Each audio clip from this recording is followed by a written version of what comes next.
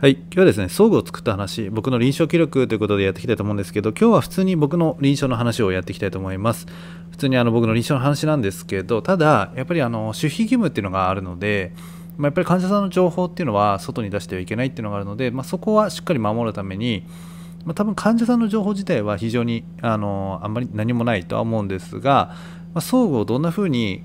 考えてどういうふうに作成したのかっていう話をあのしていきたいと思うので、まあ、あのこれから装具を作るとかっていう時に、まあ、参考になるとは思います。あの教科書とかねセミナーとかでよくこう装具はこういうふうに処方したらいいとかああいうふうに処方したらいいとか、まあ、いろんなプロトコルとか、まあ、こうあると思うんですよ病院によってはね。ただやっぱりこれってあの結局、まあ、こういう場合はこうだよねって話ってうんまあそれはもちろんベースに考えていきたいんですがあのやっぱり脳卒中の方って症状が多様なのでケースバイケースでやっぱりあの装具は処方していかなきゃいけないっていうのがあるのでこういう、まあ、僕みたいな感じでこう担当したケースの話っていうのは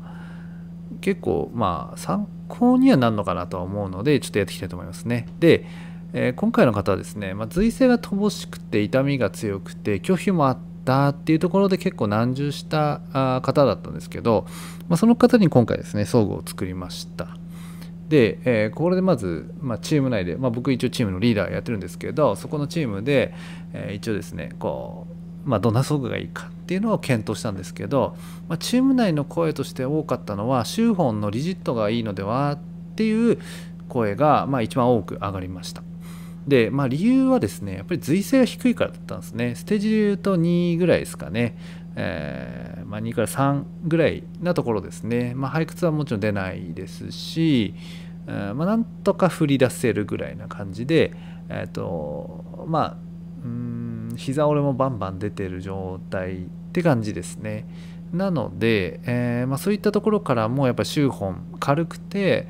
え側部は固定して、えの装具がいいんじゃないかっていう声が多かったんですよね。え、まあ、ただ僕はそうではないと考えていましたが、まあ、チーム内ではそういう声が多かったですね。であのここでやっぱり重要になってくるのが、まあ、この方はですねあと入院期間が多分2ヶ月とかぐらいなんで、まあ、装具を作るには結構ギリなところですね発症からまあ4ヶ月ぐらい3ヶ月ぐらいかな？34ヶ月ぐらいっていうところで4ヶ月ぐらいですね今ね。で回復ステージ理論で考えると、まあ、3ヶ月過ぎたぐらいにちょっとま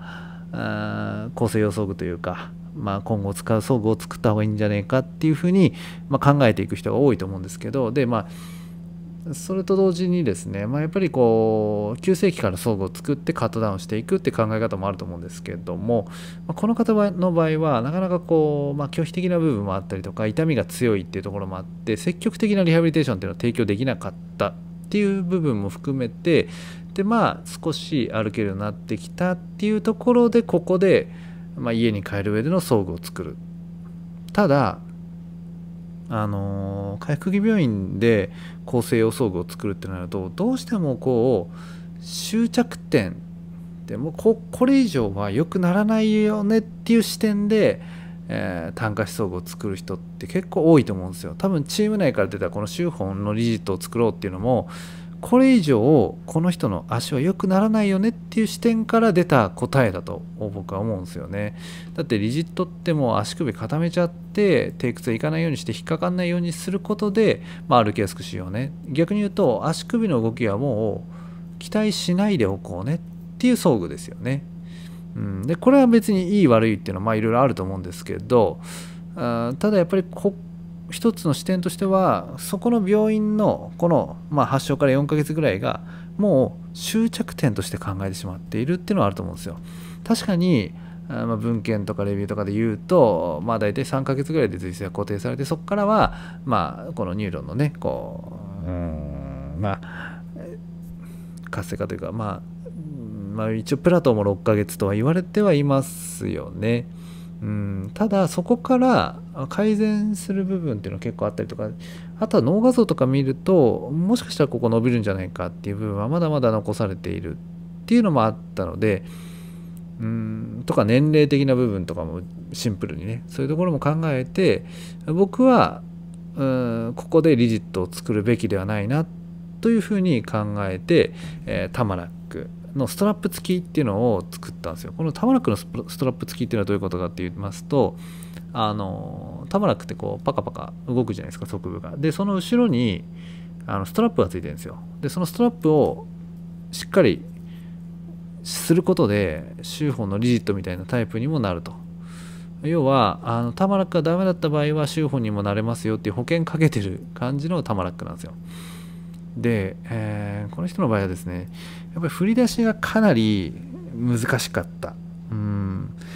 本当だったら僕は金属支付機とかをつけ作りたかったんですけど重さにかなり、えー、敏感になってしまったというか重さによって振り出すことができなくなってしまうっていうのが見られていて本人も嫌だと。それは。やっぱりプラスチックは軽いから振り出しやすいし、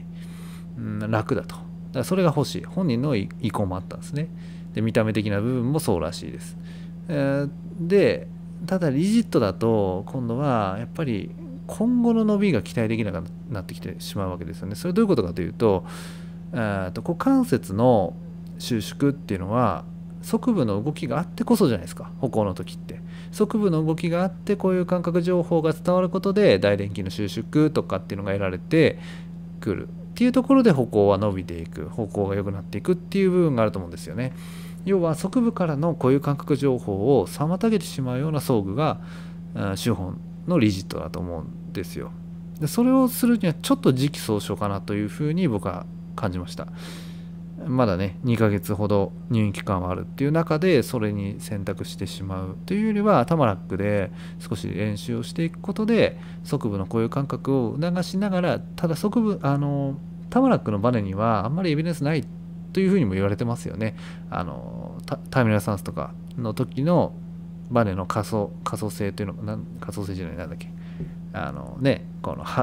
バネのこう跳躍力が低屈こう蹴り出しに関わるかっていうのはあんまりエビデンスはないって言われてますけどでもうん側部は動くわけじゃないですか。たまらくだったら。側部の動きはあるっていう中で練習するのと側部の動きがないっていう中で練習するのと結構違うのかなと。僕は臨床上そう思うので今回この装具を選択しました。まあそれが100%正しいかって言われるとそれは分かんないんですけどまあ臨床ってそういうもんですよね。できるだけベターを選択していく。いろんなことを一応まあやっぱりあのこれ守秘義務なので細かい話はできないんですけど